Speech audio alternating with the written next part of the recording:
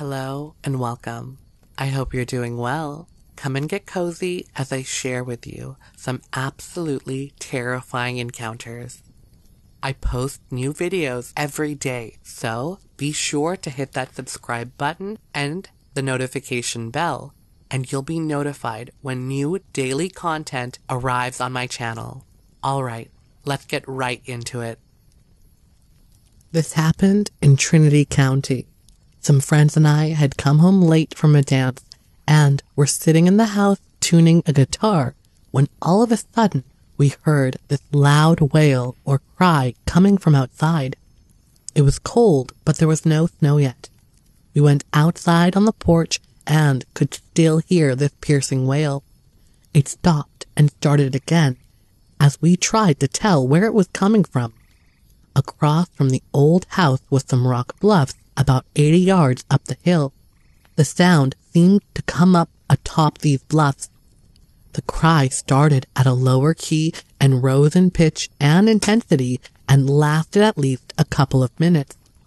We got scared and went back in for the night and locked all the doors. The next morning, Arden and I went up on the bluff and found a cleared area about 30 feet across. The small trees had been pulled out of the ground and thrown to the side. Everything else had been trampled down flat. The ground was too hard for tracks, but there was a hard smell in the area. My neck still feels funny when I think about the call. Three of us heard the screams and two of us explored the area. Bigfoot has always been part of the folklore of this whole area. It was about two or three in the morning and very cold. It was at the foot of the Grizzly Mountain in hillside ranchland, rocky bluff, and separated stands of pine and hardwoods with lots of grassy bulbs. On to the next one. This happened in Humboldt County. I was below our house and used to go down to the spring and just hang out. I got halfway down and looked across, and there was this big ape in my mind looking at me. It is still so clear of that moment. I do not know that I left first, and I never said a word to anyone I saw. Years later, our house burned down and we moved to Eureka. When my sister and I became adults, I told her what I saw that day, and she started crying.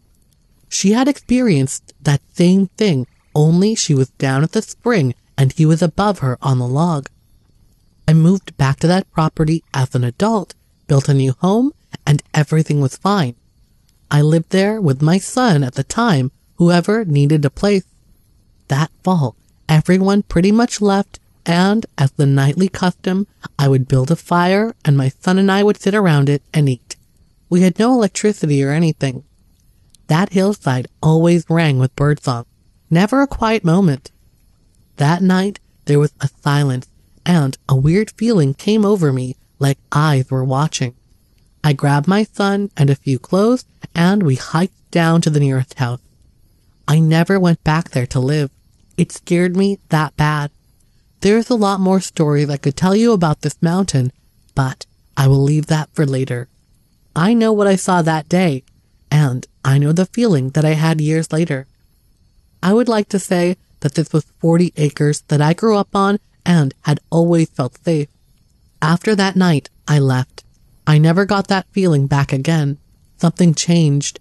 The birds never sang like before either. On to the next one.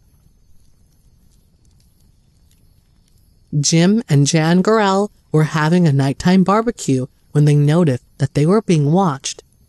What was watching them was a 9 to 10 foot tall Bigfoot.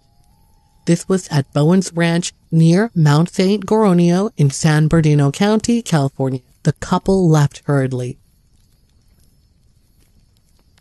On to the next one. In Humboldt County, me and four other boys had found an old logging cabin about three miles up in the woods from Myers Flat and used this old shelter for several summers. One night, the last one, we were all camping for the weekend in this old place that we had fixed up. After cooking the evening meal, we had all eaten and went to bed. Sometime during the night, I was awakened by a huffing sound. I awoke one of the other boys and we listened to something slowly working its way all around the outside of the cabin. We woke up the three others and we all listened. Whatever it was outside was poking at the old rotted boards around the bottom of the shack. We could hear it shuffle around and pry at some of the boards.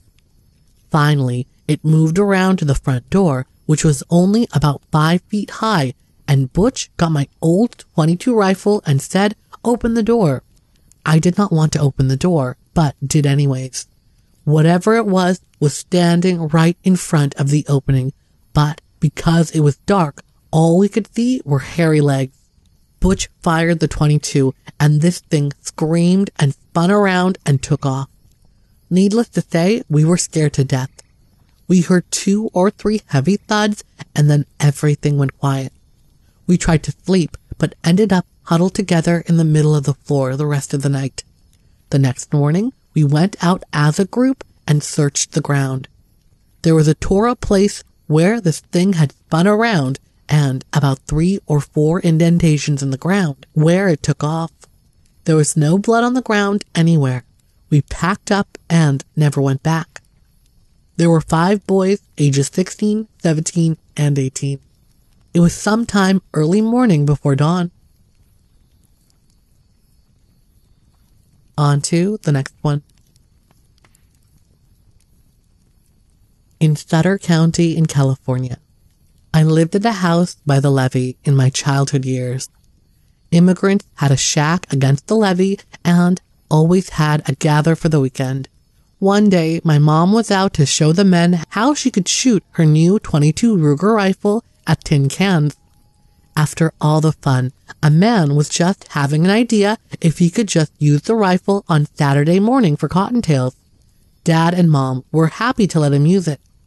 Saturday came around and I noticed the homemade rack with cottontails and jackrabbit hanging upside down near the small cabins to the side of them. My brother told me to go with him and check them out. It was sad to see such a kill.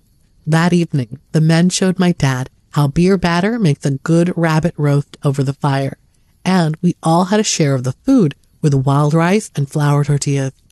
This went on for two weeks. Then a problem occurred someone was stealing the rabbits from the rack. Since our family was the only one in the camp, we were most likely to blame. My dad was beat up at a card game as beer caused a climax over the rabbit issue, and I could not stand to see it. I was not afraid of anything, cause I never watched any TV in my life about scary stuff, so I had no feeling for that in that direction. I went up the levee to just look around and I saw a rat snake. I ran down and told mom about the snake. Mom said not to go back up again. It could bite me. But my curious mind took me back up the next day. I walked up the levee, looking down to the right side where I may have seen it last. When I got to the top, that was it. No snake. Then, in the silence of everything but the soft breeze blowing a bit in my ear, I saw something moving in front of me. Here was this huge monkey-like creature on a cottonwood tree looking over the levee. I noticed it in the shade of the upper branches because one of its legs was swinging back and forth below the branch. I got closer to adjust my focus on this big creature, and sure enough, it was some sort of ape-like thing, but with a smaller head and it had human-like features. I looked down to see if there was a fence between us, and there was not any fence at all. My mouth was watering over fear, and I could not move my leg.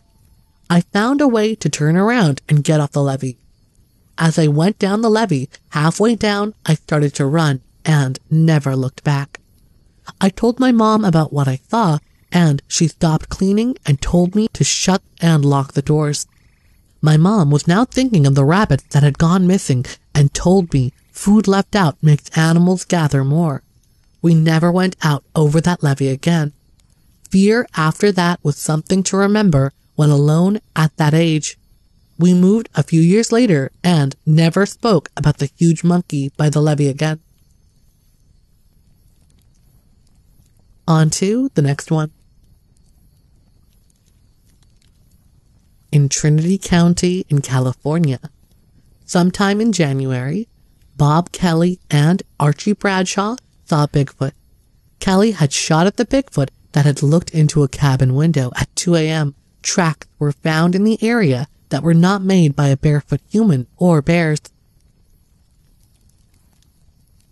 On to the next one. Is Bigfoot vacationing in the southern Nevada desert? The legendary creature, whose activities are normally confined to the Pacific coast, was sighted by a worker in the Nevada test site, 95 miles north of Las Vegas recently. Department of Energy spokesman Dave Jackson said a worker saw the creature walk across a road in the forward area of the test site. It was reported heading east toward Yucca Flat, site of numerous above and below ground nuclear tests. The creature was described as more than six feet tall, covered with hair, and walking upright, taking long strides like a man. Jackson said when the unidentified worker reported the sighting, he took quite a bit of ribbing. Jackson said security officials stationed in Mercury investigated but were unable to find any footprint or other evidence. On to the next one. I was a reserve deputy sheriff for Storey County Sheriff's Office I was employed by Houston International Mineral Corporation at Gold Hill as their on site security supervisor. I'd worked the day shift. I had ran some kids out of the old mill at around 3:30 p.m. I was showing my swing shift officer the area I had ran the kids off from. We were in the security vehicle parked on the high side of the south side of the old mill, gold mining. We saw that the boys four of them were running back down the ravine to the creek below. It was 4:15 p.m. As the boys reached the creek, they must have scared a group of girls at the creek bottom because they started screaming. There was a lot of noise being made by both the girls and boys laughing and yelling. At first, I thought they had scared a deer west of them near the rock outcrop. Then I thought, no, it's too big to be a deer. I could see it moving among the trees, heading up the other side of the ravine at a very fast pace. I thought it must be a lone Mustang as I watched. My security officer got the binoculars from the seat and said, Oh my god. I looked closer and realized it was not a Mustang. I was looking at a large, graying, brown, man shaped thing about 10 plus feet tall. It was obviously male because of its build. As it cleared the trees near the top of the hill, I could clearly see it. It was covered with hair from head to toe, graying like a person in their fifties. It was at least three feet across at the shoulders. At the crest of the hill, it turned and looked back down the ravine. It was maybe a hundred yards across the ravine. I had an unobstructed view at this point. It stood on the hilltop maybe a minute, looking back down the hill, then turned and moved to the other side of the hill out of view. We drove over to where we had seen the thing last, about a two mile drive on dirt roads. It was about 4:50 p.m. By then, we saw no further sign of it, but were able to establish that the thing was standing next to a tree that was 11 feet tall and it was just as tall as the tree we saw. The only other thing that I noticed was just the noise of the kids down lower on the creek. Happy sounds, not fearful, screaming and yelling. It was 4:15 p.m. Broad daylight, clear skies, warm, almost hot. The area is high desert, almost a ravine 60 feet deep, with a rock outcrop on the other side with a creek in the bottom of the ravine. There are cottonwood trees and willows in the bottom of the ravine, with juniper, sage, and pine trees on both sides of the ravine. This opens up into a flat as you move west. The sighting was just south of the old American Flats mill site, below the new mill and mill pond. On to the next one. In Douglas County, in Nevada. In September, my friend and I were hiking on the east side of the Sierra Nevada mountain range, above Lake Tahoe and the Carson Valley, above the town of Genoa. Both of us grew up in this area. Although in high school, I was kind of a cut up. My friend Linda graduated valedictorian of our class five years earlier. She is very logical. We have often hiked this trail that basically goes straight up the mountain and over to Tahoe. It is a strenuous hike. When we parked our truck at the trailhead, there was another car parked there as well. We were a quarter of the way up the trail when two teenage boys came running down the mountain toward us. The trail was extremely steep and they were running for all they were worth. They stopped long enough to implore us not to go any further up the mountain, as they had seen a monster or something. There was an old deer hunter's cabin at about the halfway point, and we told the boys that we were only going that far. We thought they were drinking or on drugs. We shrugged off the incident laughed, and joked that we wished we had what they were smoking. We reached the cabin without incident, sat down on the bluff that overlooked the Carson Valley. We split a soda that we had brought, and I took out my recorder. It's a flute like instrument, and began playing some little tunes on it. We were alone on that mountain, we thought. After about an hour of putzing around, we decided to head back down the trail. I kept smelling dog dew or something dead. I even checked my shoes. We were near the creek gathering pine cones for an art project. I was facing downhill. Linda was facing uphill. We were examining a particularly perfect cone when Linda looked up and exclaimed, Oh my god, it's a bear. No, it's a guy in a bear suit. I looked up and couldn't believe it. We were a stone's toss from a seven foot hairy dude. He looked directly at us, and to this day, Linda and I felt something pass between the three of us. He stood across the creek from us. His hair was the color of dirty pine needles and covered his whole body, with the hair thinning just on his chest and face. He had a large, broad chest, but not breasts like a female. His arms were hanging at his sides nearly to his knees, and when he walked, he took long strides and his arms swung freely as he walked. He didn't seem to fear us, although he began to walk straight up a pine needle covered slope, barefooted without slipping. As he moved away, Linda grabbed my arm and began dragging me down the hill. I couldn't take my eyes off him, and he never took his eyes off of us. I do not feel to this day as he meant to harm us, but instead I feel he was just as fascinated with us as we were with him. His face seemed almost serene with very intelligent eyes. His face resembled an orangutan. He had large eyes and a flattish nose. I sketched a picture as soon as I got home, and Linda confirmed that I had captured his likeness. I wished I had a camera on me that day.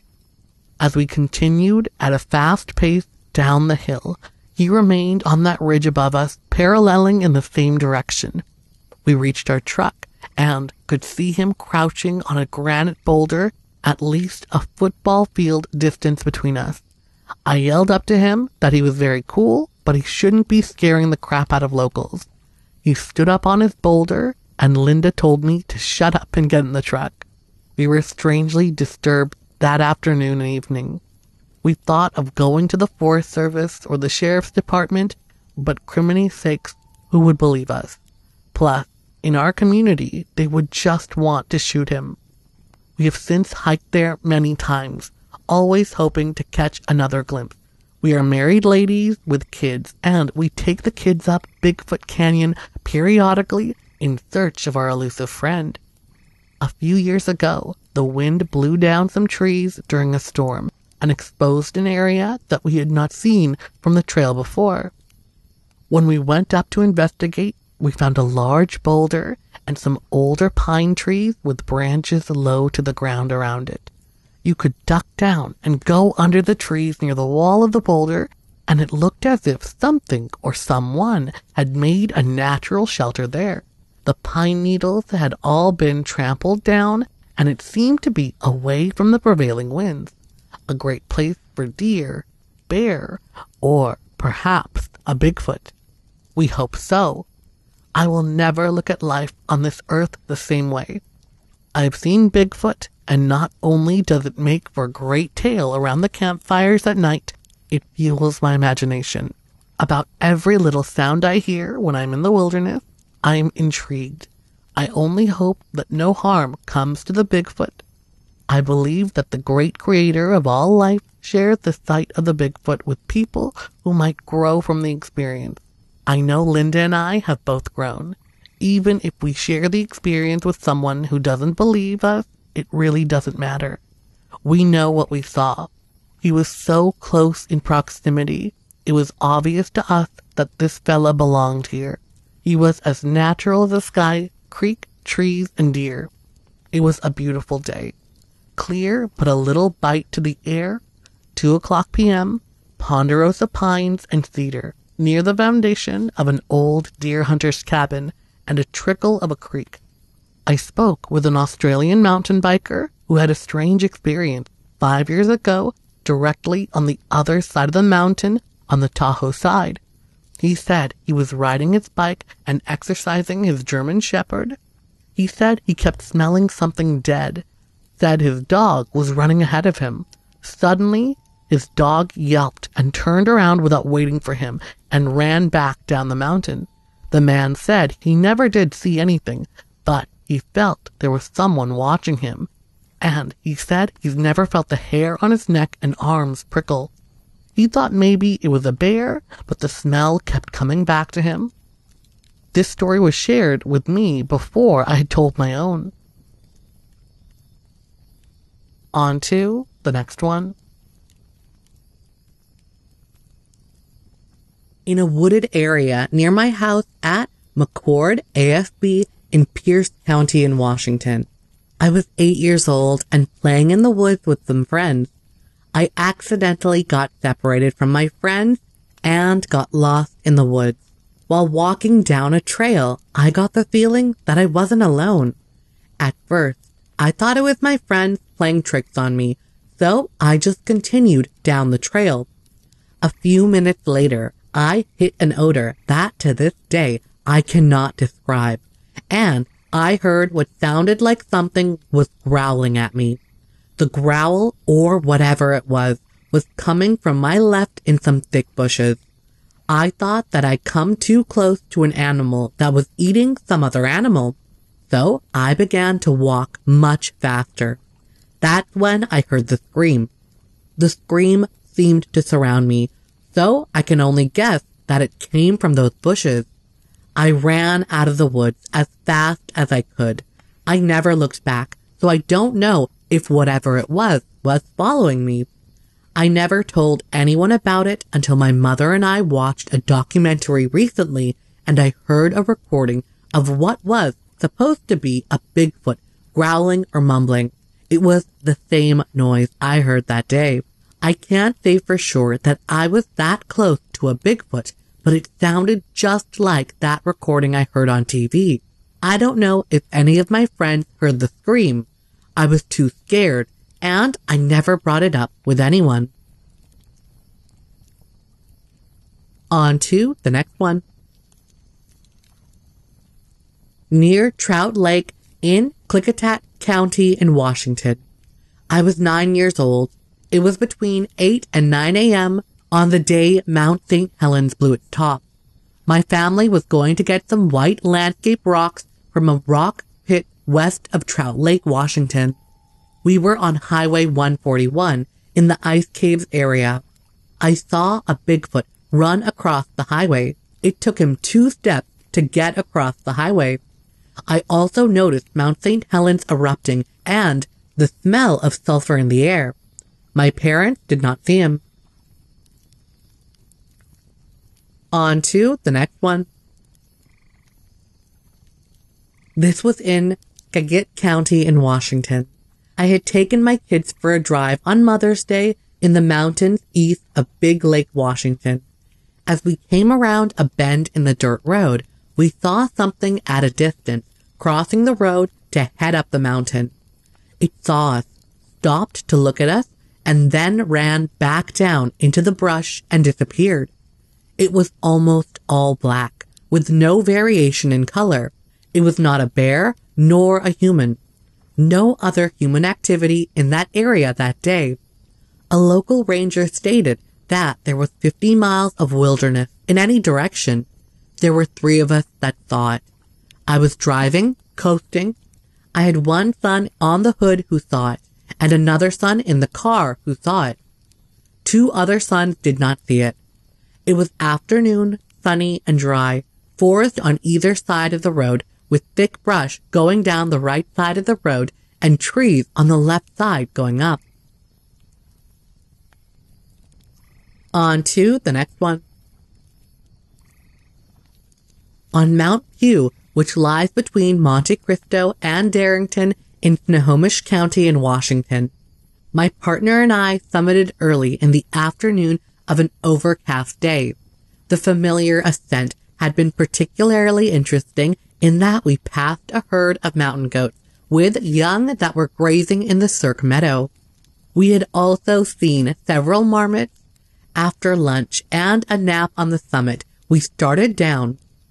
We had descended through the pass and were picking our way through boulders about halfway down the cirque when I turned and looked back up to where we had been a few minutes earlier. I noticed movement in the path. A large, dark, human-like form stood up and looked directly down at us. I stopped and asked my partner, who was ahead of me, what's that figure up in the path? Neither of us spoke as we watched the form.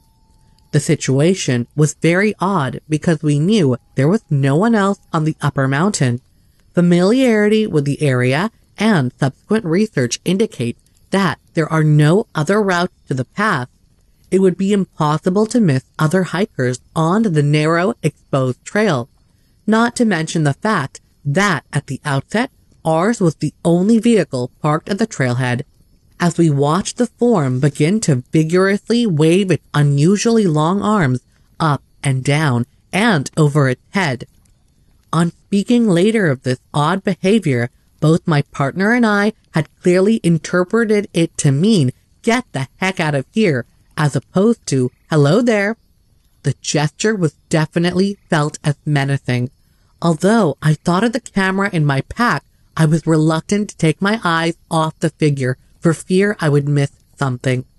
We watched, transfixed for a few more seconds until low clouds moved in to cover the path. We continued down through the woods to the trail ahead and as when we had arrived, Ours was the only vehicle at the trailhead. Here are my afterthoughts. What we saw was not a bear. Its arms slash front legs were way too long. It was not a human because we were the only ones there. In addition, the behavior seems very bizarre when applied to a human form. If someone were trying to get our attention, a shout would have made a lot more sense. Pugh is a rugged 7,224 foot peak in the northern Cascades. A trail to the summit begins at 1,920 feet, passing through dense, rainforest-like woods, and climbs steadily for about five miles before emerging from the trees in a boulder-strewn alpine cirque. By following a steep switchback up to a notch called Stujack Pass at 5,720 feet, the rim of the cirque is reached, which leads by way of an exposed ridge to the summit pyramid. On to the next one. It was the summer of 1979, or maybe 1980. My friend and I hiked up the Mount Jupiter Trail to go fly fishing at one of the Jupiter lakes which I think might be referred to as number two. You drop down over the ridge to the north before getting to the summit of Mount Jupiter to reach the first three of five lakes, I believe. There is no trail to the lakes, so you must drop over the ridge to get down to the first lake, sometimes hanging on to a bit of brush. There are three lakes on this side. We got to the first, followed the outlet, and went and camped at the second lake down. I think we stayed two nights. It was probably the second day when this incident happened. There were some other guys that had camped on the other side of the lake and had left at about 2 to 3 p.m., I recall. My time frames are not exactly clear anymore. Nonetheless, the guys that had been camping on the opposite side of the lake had left about three hours previous to what I call a didn't pay enough attention encounter. I was fly fishing to the shoreline, sort up to the side of the opposite end of the lake. Being an intense fly fisherman concentrating on my fishing, I saw what was. I thought at first that a person had returned to the camp to get something they might have forgotten. I didn't pay any attention because I had remembered that there were people that had camped here. At the moment, while concentrating on fishing, I didn't look directly at the camp, but I saw a figure out of the corner of my eye. It was probably there for a minute or maybe less. Out of the corner of my eye, this figure walked back and forth maybe a couple of times in the area and finally walked with a large stride across the campsite and disappeared into the woods. After it had disappeared, the thought of the stride struck me as odd. It was a big stride, arm swinging, just as the video of Sasquatch that was spotted in the late 1960s down in Eureka, California. After it had disappeared, the oddness of the stride made me look over at the campsite. Then it hit me how very odd it seemed because of the movement and the stride of the figure out of the corner of my eye. I was actually upset for not taking a better look and further upset because I had my camera quite handy at the time. I carry it to take pictures of trout I catch. I don't remember where my friend was at the time since it was a long time ago, but anyway, I told him about it. I said, let's go over there and see if we can find some tracks. So we did. When we got there, we discovered the campsite area was a huge rock mass with moss growing on it. We found no tracks, but we didn't look that hard either. I must say that we could hardly sleep that night. Nothing more unusual happened that I can recall. I had seen the film of the Sasquatch spotting down in Eureka by the Patterson guy long before this hiking fishing trip. So the swinging of the arms and the stride had sort of stuck in my mind, and this thing, whatever it was, had that same movement. Too bad I didn't look straight at it. Too bad I didn't snap a photo. I regret it to this day. I can say that the creature's coloring was a brownish reddish color. It didn't dawn on me until after the thing disappeared that I didn't see any clothing from the corner of my eye observation encounter. I just thought I should report this after all these years. I never have. I can say that the area is very rugged country and is not easy to get to. The campers on the north side of the lake had come somewhat up from the Dosewallips River, where I don't know of any trail access, so they must have bushwhacked to get to the lake from that side. It was around 6 p.m. and the weather was clear and sunny. On to the next one. I encountered a Bigfoot in northern Massachusetts when I was at the age of 15. My name is Lori, and it's still something that is a challenge for me to talk and discuss. It wasn't until a family member told me to write down my experience that I started to process everything. I was raised by a single mother, and I'm not afraid to admit that she was a bit of a cat lady. Altogether, I would say we had an average of between 10 to 15 cats at any given time. All of them were outdoor cats that came and went as they pleased. I was quite close to a few of them, and there were also a few that I hardly ever saw. If you've ever owned a lot of cats at once, chances are you know what I'm talking about. One of my favorite cats was this black and white one that I named Nala when I was younger, and yes, it was in honor of my favorite childhood movie, The Lion King. Nala was extremely affectionate, often brushing up against my leg and sleeping in my bed. She didn't sleep in my bed every single night, but it was rare for her to go more than two or three nights without doing so. After Nala had been gone something like four nights without coming to sleep in my bed, I asked my mother if she had seen her anywhere. Mother also thought it was weird. Nala wasn't old at the time, so it made it seem all the more strange. We had a garden in our backyard that wasn't very uncommon for the cats to hang out in, so I had been looking in there every hour or so once I realized that she was missing, but no luck. It was probably about a week later that Mother called the police because she said she saw a homeless man through the window late in the evening. When I asked her what he looked like, she explained that he was very tall and had long black hair and a long black beard. She said since it was dark, she had trouble seeing much more than that. The first thing that came to mind was a hobo, was living near our house and capturing local cats or whatever meat he could get his hands on for nourishment.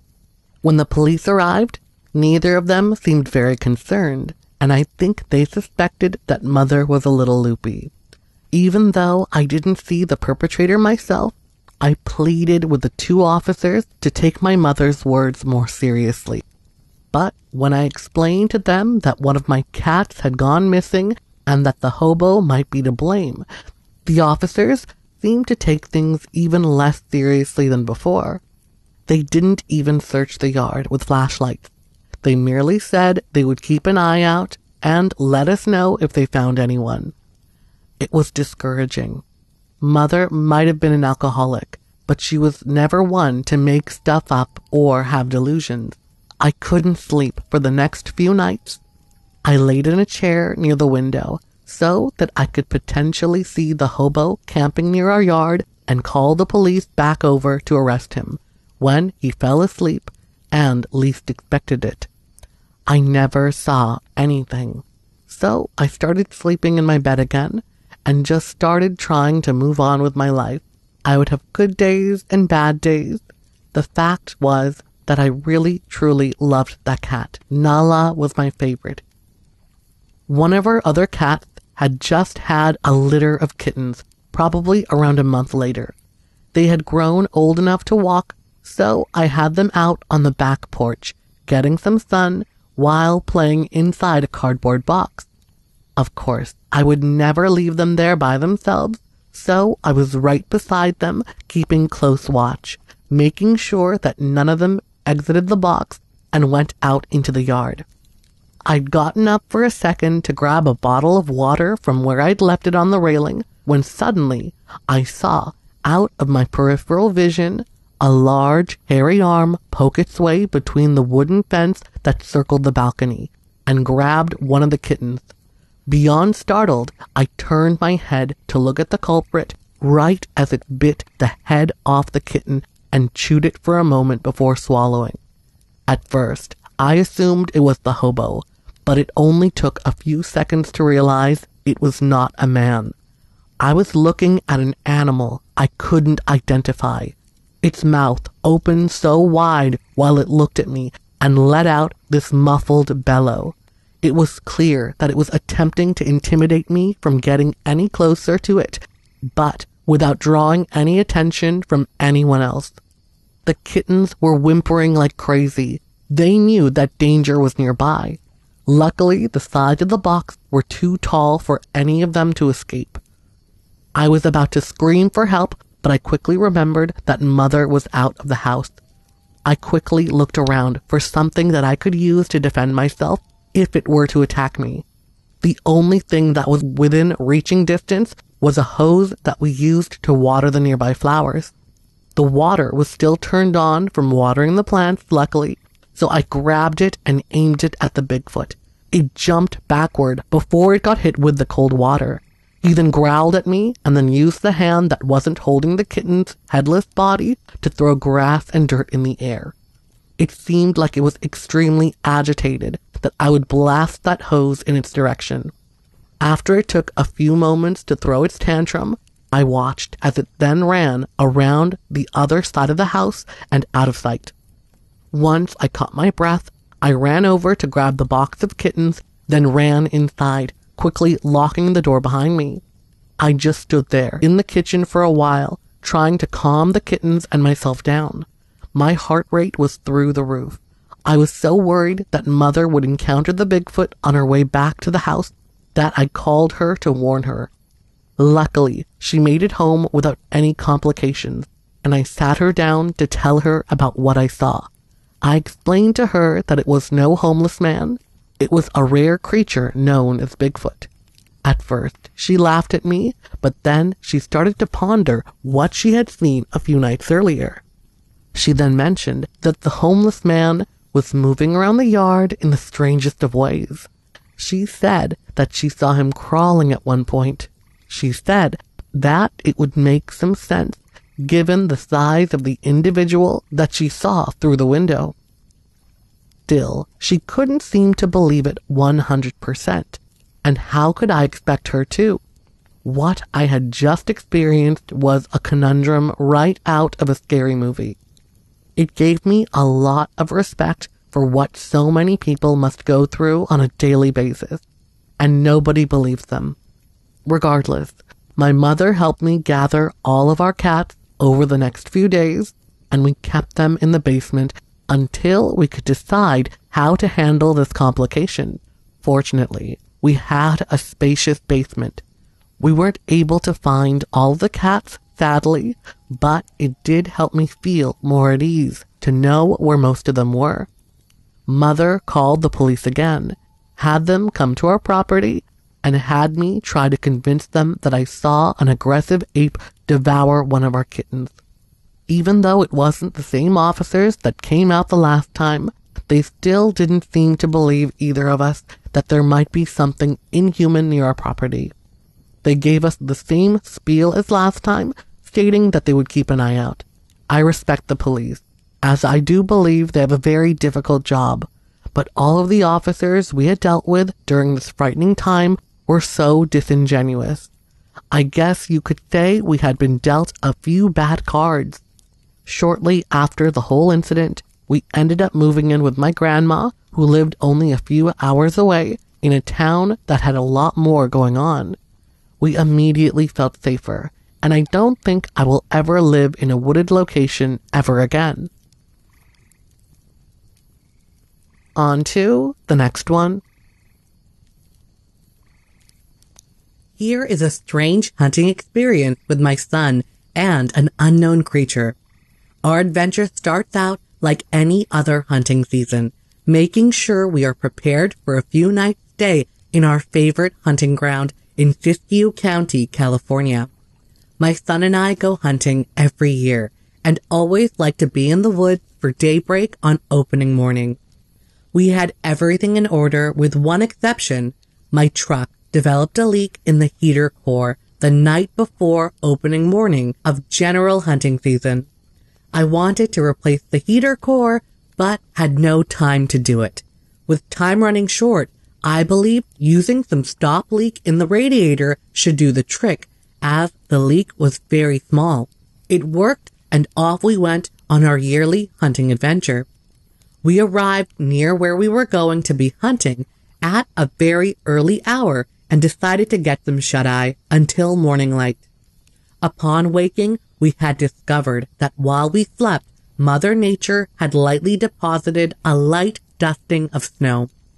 Very uncommon for what we have seen around here as we joke about opening day being the hottest day of the year. We had some coffee and a sweet roll and warmed up the truck to get ready for the day. As it was getting very toasty and warm in the cab, I noticed the smell of antifreeze and the windshield fogged up. Great, I said, another setback to keep us from getting our hunt on. Well, I had brought several more applications of the stop leak just in case, and threw one more in the radiator. With the leak now under control, we headed for our chosen spot. A friend at work, we'll call him Jack, likes to frequent the area to fish the two high mountain lakes in the area. Jack had told me that he had spotted three to four nice bucks and recommended we give it a try. After arrival to one of the lakes where I was given the tip, my boy and I loaded up and hiked to the far end of the lake. It was a very crisp morning, some dew in the air, and uncharacteristically extremely quiet. It has been my experience when hunting that I am very in tune with my senses and pay close attention to my surroundings. I would say we were there listening for any sign of our intended game for about 20 to 30 minutes. All of a sudden, this loud thud happened out of nowhere. It was a sound comparable to a very, very large rock being slammed on the ground. We could even feel the reverberation from this unknown blow to the earth 40 to 50 yards away. I looked at my son. He looked at me as if to say, what the heck was that? But sometimes just a look is all that is needed without a spoken word. It drew our attention, so now, instead of hunting the source of this unwarranted noise was our focus. About five minutes had passed until we spoke to each other without any more noise. The forest was dead quiet. We entertained the idea that it was probably a bear up the hillside foraging for something to eat. Then, all of a sudden, the trees, not small either, started to shake violently, accompanied by a holler to the like I've never seen before. To be honest, I was starting to get worried. I played it off to my son, though he undoubtedly looked at me as the only one to remove us from the situation safely. I told him we would just walk around the lake and leave whatever this was and go straight for the truck. Now being located at the far end of the lake as we were, it was so muddy we couldn't get through. We were sinking into the mud. At this point, whatever was up the hill didn't want us there, and to be honest, I didn't want us there either. Keep in mind, we're out deer hunting, both armed with rifles, both 30-06s, and we both had a sidearm. Mine was a 44 Magnum and he had a 357 Magnum and I still didn't feel safe. Whatever this creature was, I no longer thought of it as a bear. It was something else. No bear I have ever heard made the noise we heard coming from the woods up on the hillside. So we would have to walk on the narrow path right by this creature to get back to the truck. I was very apprehensive about this task, but we had no options at this point. I told my son I was going to fire a couple of rounds from my 44 Magnum into the hillside to scare it off before we made our mad dash to the truck. So I said, ready. And he said, yup. Then, boom, boom, I cracked off two rounds and off we went. All was quiet, deadly quiet, almost too quiet for me. Finally, we were back to the truck, safe. So I thought. As we were removing the mud from our boots to get into the truck, behind me, I heard the sound of snapping branches and an evil roar and holler that made the hair on my neck stand straight out. I just got a chill thinking about it. I turned around to see the trees moving as whatever this was was coming down the hill right toward us, hollering all the way. This creature had waited until we had our gear put away until I guess it thought about it and was very pissed off before it started down the hill after us. I yelled, get in the truck, and we sped out of there fast. Did we actually experience a Bigfoot encounter? I can't say for certain. Did we actually see it? No. But I can't think of anything else to compare it to. I have never even had an experience like this before or after this one. I can tell you this. I was not sticking around to see what it was. We drove to safety as quickly as possible. I'm so thankful that the leak stop had done its job at that moment. But our heater core failed later that day. Now, this is where the story gets interesting. I told my friend Jack about our experience, the guy who gave me the tip, and he asked me where did it happen up there. I was starting to tell him, and he said, was it here? He actually told me where before I was able to finish my story. He said he always felt uneasy fishing there like something was watching him. He told me he and some friends were going up there soon and would look around and let me know what he finds. About three days later, Jack reports back to me they found a pile of broken branches about four inches in diameter, all stacked up in a neat pile. These branches were broken, not cut, with a chainsaw. He said he was going back the next weekend with a video camera to document the find. When he returned, the pile was gone. I also told one more close friend about our experience, but before I could finish, he asked the name of the lake. I told him, and his response was that he had a similar experience when he was fishing. He said he was so worried about it, he ran out of there, leaving all of his fishing gear, and he never went back, ever. To this day, I still feel really weird just driving past this little lake. We don't go there anymore. I guess we'll never really know what that was that day, but I know with a certainty it wasn't a bear. I know my story has no actual sighting, but the sounds heard that day will be forever branded in my mind, and, as well as my son's, forever. I have never told my story publicly, just to close family and a few friends, as I didn't want to be thought of as a wacko.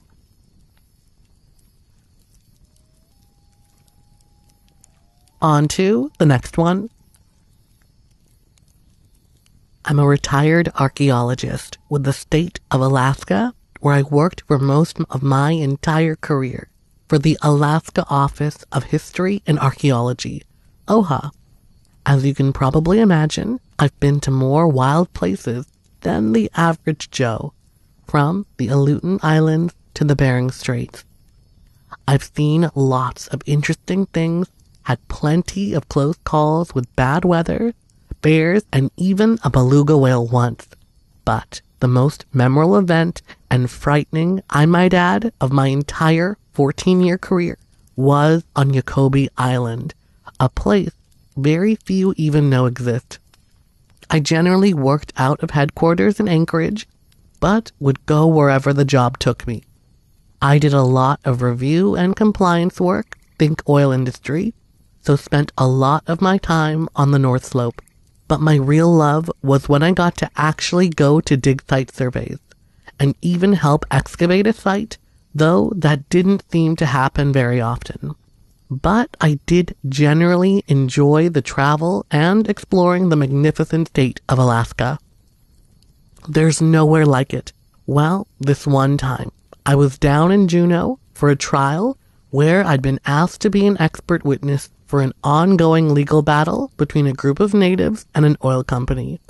And it looked like it was going to turn into a long stay. So I got interested in doing some sightseeing while there. My family always jokes that for me, sightseeing is spelled S-I-T-E, not S-I-G-H-T, as I always look out for archaeological sites while of course taking in the scenic sights as well. There would be a week hiatus before I could present the rest of my evidence, which had to do with an oil company wanting to put a haul road right over a sacred site. And I could either fly back home to Anchorage or stay and explore the area. And in case you don't know, there are no roads to Juneau. You arrive either by air or ferry, and your car arrives by ferry or barge. So once you're there, you really don't have many places you can go.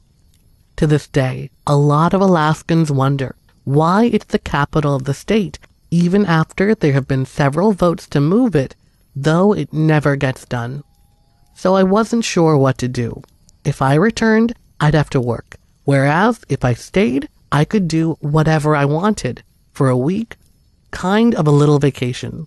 Though, one, I couldn't really go anywhere, much because I was in Juneau. The idea of staying sounded kind of good on one hand, but on the other, I might get pretty bored and have nothing to do.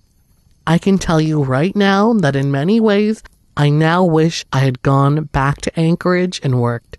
There are some kinds of excitement that aren't worth it. I also knew that I could potentially get stuck there because of bad weather, so I needed to see what the forecast was, though I suspected it called for at least some rain, as it usually does. I don't know if you've ever been to Juneau, but it's basically a rainforest. Because of the Pacific Ocean being nearby, it gets lots of rain, anywhere from 50 to 90 inches a year, and it rains there about 320 days a year. It can get cold in the winter, but not as severe as most of Alaska.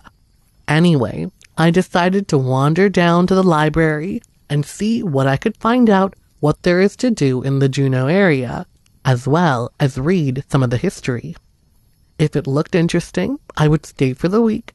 If not, I'd fly home the next day. As I'm talking about this, I'm trying to recall when all of this happened.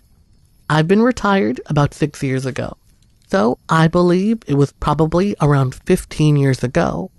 I'm an old codger, and believe it or not, when I went to college, we actually had to physically go to the library to do research, as there was no such thing as the internet. So for me, doing research meant going to the library. I've always liked libraries and had a good association with them, well, there I sat in the Juneau Library, looking through Alaska tourist magazines and books about things like how to photograph the northern lights. There wasn't much on Juneau itself, and I was getting the impression that there really wasn't a lot to do there unless you were a cruise ship tourist and into shopping and eating out. I decided to see if there might be some old historical sites I could visit. I pulled some old history books out of the stack and kicked back, with the rain pouring down outside.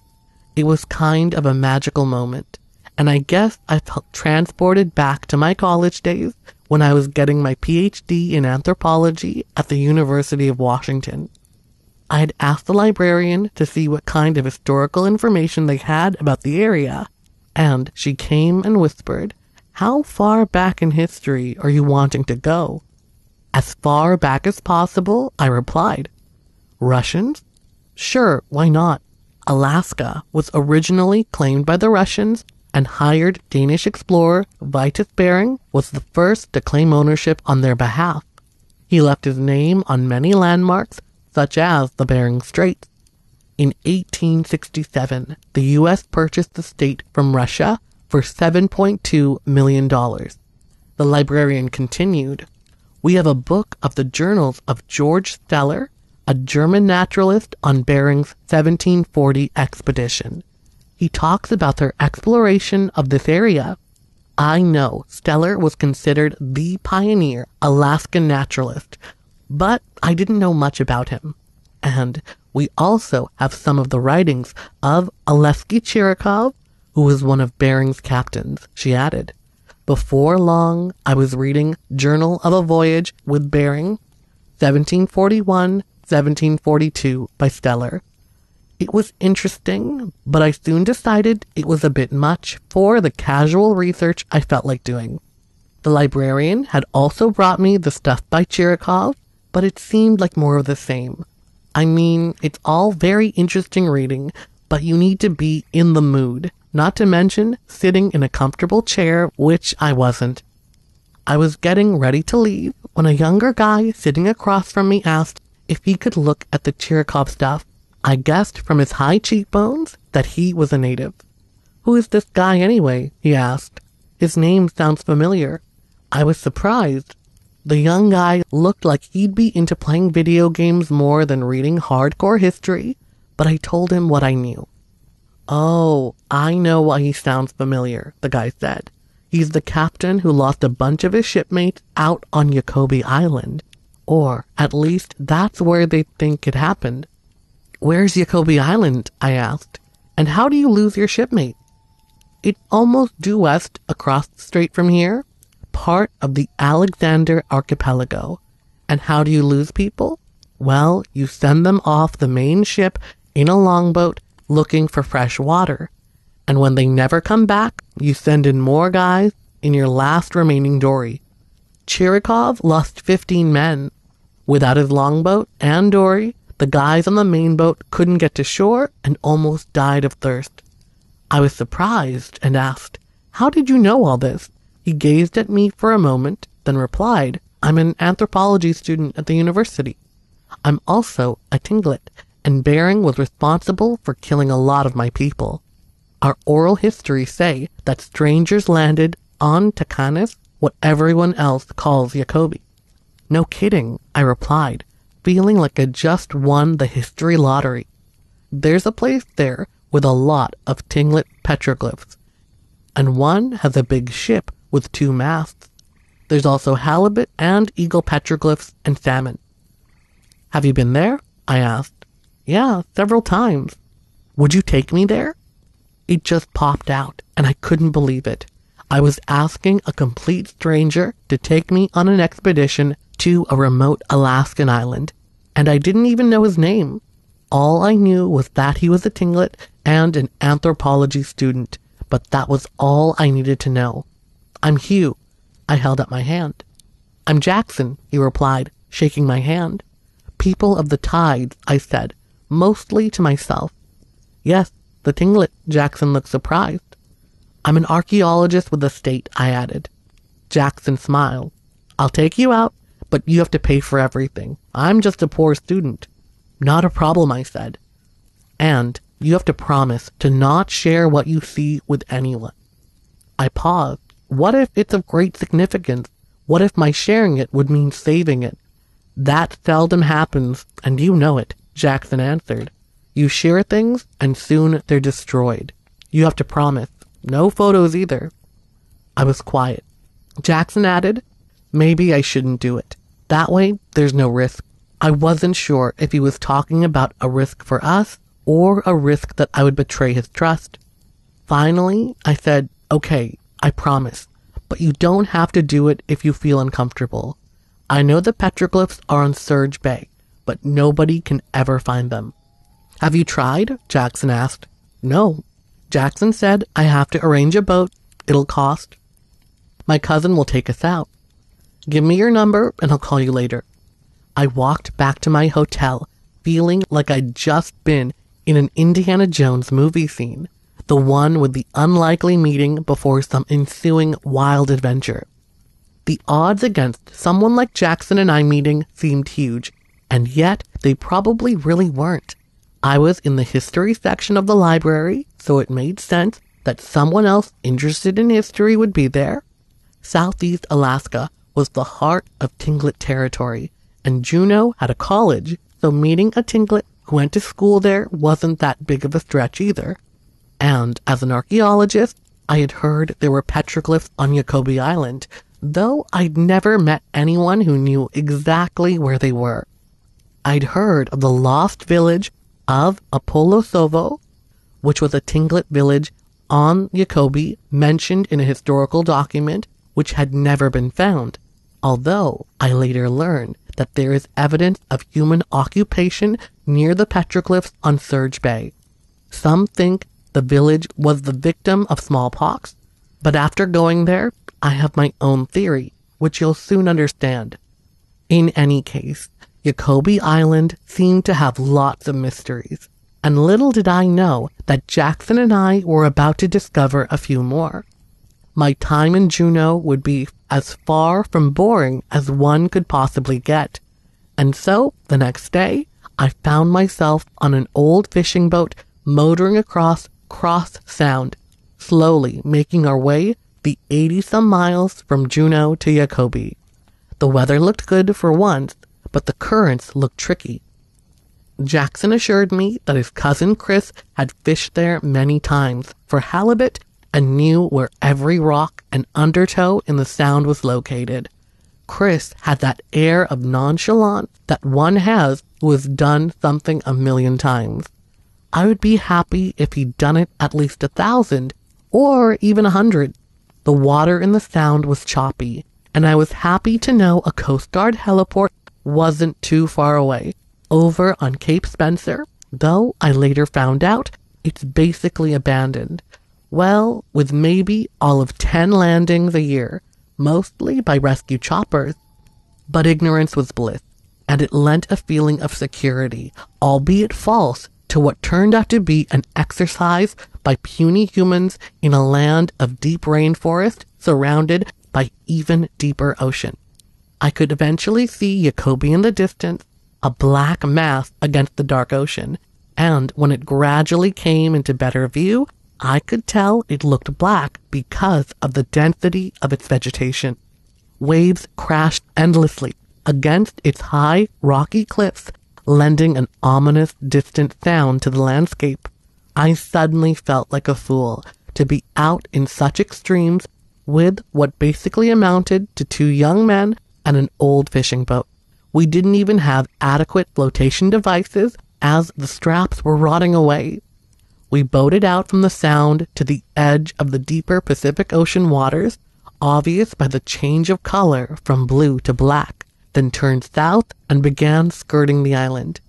What I had seen so far of Yakobi Island made me think that no one in their right mind would attempt a landing there, with so many rocky points and cliffs and half sunk rocky spires. And yet, that was exactly what we were going to do. I half expected to end up like Chirikov's missing men. It seemed obvious now that we were there that their boats must have sunk. Jackson assured me that he and Chris had landed several times in Surge Bay and knew the route well, but I felt a sense of gravity like I had been extremely careless in this particular undertaking. All I could do was hope I would live to regret it, like everything else on this trip. I later found out that Surge Bay is named that for a reason and is extremely dangerous when the tide is ebbing. In fact, a number of historians believe that Chirikov's missing men probably drowned trying to make landing. In addition, winds can quickly ram a boat into the rocks along the channel. If I'd known then what I do now, I would have never gone. But, like I said, ignorance is bliss. But even in my ignorance, I wasn't feeling very blissful. I had a knot in my stomach the entire time, and instead of it going away, it only got bigger, even after Jackson and I successfully landed a small inflatable raft on the banks of a small cove inside Surge Bay. Immediately, something was telling me to get back in and leave, and the sight of a yellow inflatable kayak hanging high from a tree didn't help any. High tides here? I asked. Not that high, Jackson replied. I knew that there were places in Alaska that had 30 foot tides, but the kayak appeared to be tied up, not the result of being lifted into the tree by tide water. Someone tied it up like that, Jackson commented, examining the knot intentionally. Why would they do that? I asked. Bears, he replied, so they don't bite and puncture it trying to figure out what it is. I thought bears can climb, I said wryly. Black bears climb. Brownies can, but don't like to. Have you seen brown bears here? I asked, my sense of doom growing exponentially. They're all over the island, Jackson replied. They're good swimmers. There's black bears too. I could now see that Chris, who had not entered the bay, had turned the fishing boat and was heading further south, going around the island. Hey, I cried. Where's he going? He's going to fish for a few hours while we explore, Jackson said. That was the only way I could get him to bring us. I thought I was paying him. That too. I groaned, then picked up my day pack, which held water, a rain jacket, a small first aid kit, a notebook, and some sandwiches and cookies, and no camera. Jackson tied the boat up to a large rock. How do we keep bears from eating our raft? I asked. We don't have any rope for hanging it in the trees. We won't be going far, Jackson replied. And I have this. He touched the stock of the rifle slung over his shoulder. We walked a ways down the beach and were soon standing by a round rock with a drawing of fish incised into it. The figure was old and faded, but obviously a salmon. And as we walked further, Jackson pointed out similar etchings on other rocks. An eagle, a sun, a halibut, another salmon, and then a small petroglyph that looked newer, not quite as faded as the rest of a sailing ship with two masts and what appeared to be four oars. I stood transfixed at what I knew was probably the only record of the first landing of non-natives in Western North America. I hadn't expected it to have as much of an effect on me as it did. But then, I'm an archaeologist, so what would I expect? Things other people find boring cause me to tear up. Jackson seemed to notice. He said, I have something else to show you. It's very sacred, but I think you will understand. I wasn't sure what he meant by that, so I didn't ask. Where is it? He nodded toward the snow covered mountains in the distance.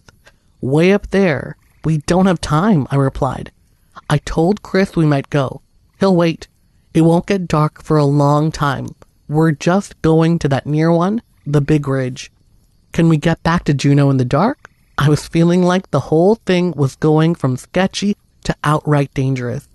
No, we'll set anchor and sleep on the boat, but you must remember, we're the people of the canoe. My people floated and explored and lived here for many years before we had motors. We know the waters. Archaeologists like you say we've been here over 10,000 years. Some think much longer. I nodded, suddenly feeling very humbled and even fortunate to have been taken in by this young Tlingit. We won't get lost? I asked, eyeing the thick forest. We'll use animal trails. What about the raft? It'll be fine, Jackson replied. I didn't know what to say, so I said nothing, wondering where the person was who owned the kayak hanging from the tree. Probably lost. We crossed the beach and immediately entered the dark forest. Jackson quickly found a rough trail that led through the trees. We startled a Sitka black-tailed deer which ran through the forest, and I was amazed at how quiet it was. I read later that we were near the West Chichagof Yakobi Wilderness, which is part of the Tongass National Forest, the largest national forest in the United States, and part of Earth's largest remaining temperate rainforest. The trees are primarily western red cedar, Sitka spruce, and western hemlock. The average American has no idea that this forest, spread over thousands of islands, is part of their country. I certainly didn't. Jackson led as we pushed our way through the forest, skirting a large lake that he called Surge Lake. It opened into Surge Bay, so was salt water. We were beginning to climb, and the more we ascended, the less vegetation we had to deal with, until after a couple of hours, we stood on tundra at the top of the large ridge that overlooked the lake and bay. I could see the small cove we had landed in far below, our raft a mere dot on the landscape, the kayak above it just a yellow glint. I kept expecting to run into a bear, but we were lucky and didn't. I later read that the West Chichagof Yakobi Wilderness is home to a unique group of brown bears that are more closely related to polar bears than to our other brown bears. Knowing how polar bears view humans as prey, I was glad we hadn't had the chance to see if these brownies had the same propensity. We walked to the end of the ridge where it plunged straight into rainforest, and Jackson showed me a large pile of gray rocks, many green with moss. The mound was obviously artificial, and I knew we were looking at a Tlingit rock cairn. It had been built on the very edge of the mountain, Jackson looked thoughtful. Our oral traditions tell of an ancient flood. It drove our people from their coastal homes up into the mountains. We had to use rafts, and these rock cairns were used to anchor and save us. I nodded with respect.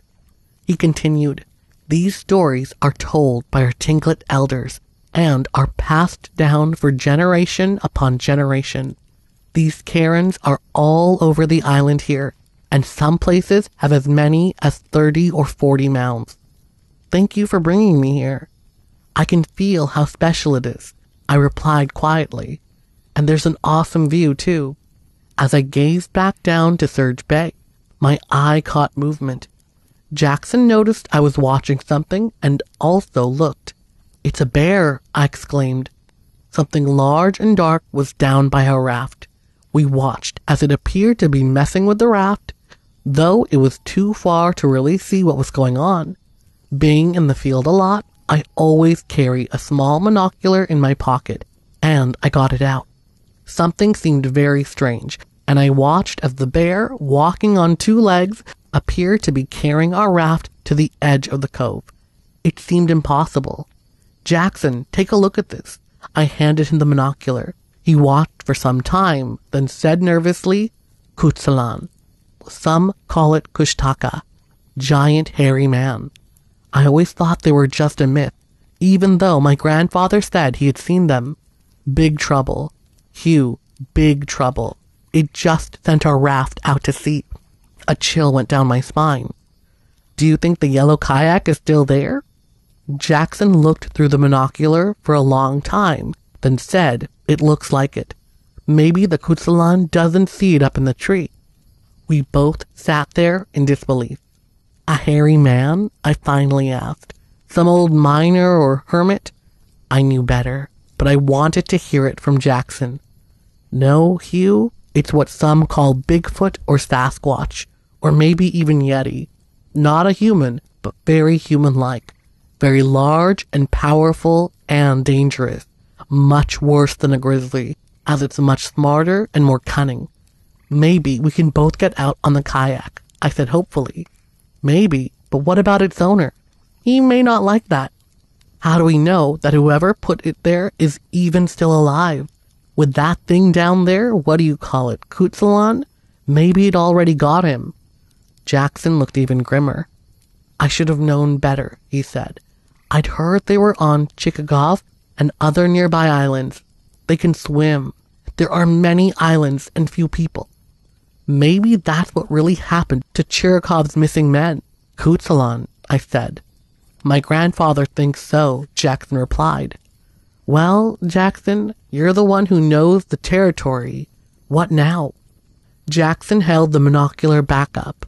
After a while, he said, the raft's gone. I think it's been punctured, as it's not floating anywhere that I can see.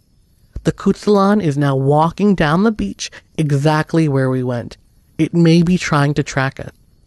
Do you think your rifle would stop it? I knew the answer.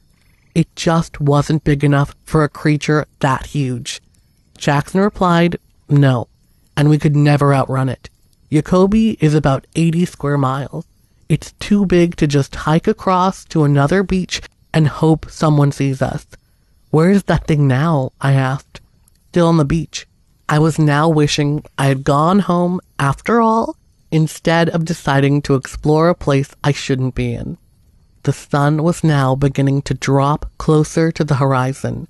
I really didn't want to be out here in the dark, and worse yet, I could see a low bank of dark clouds way out on the western horizon.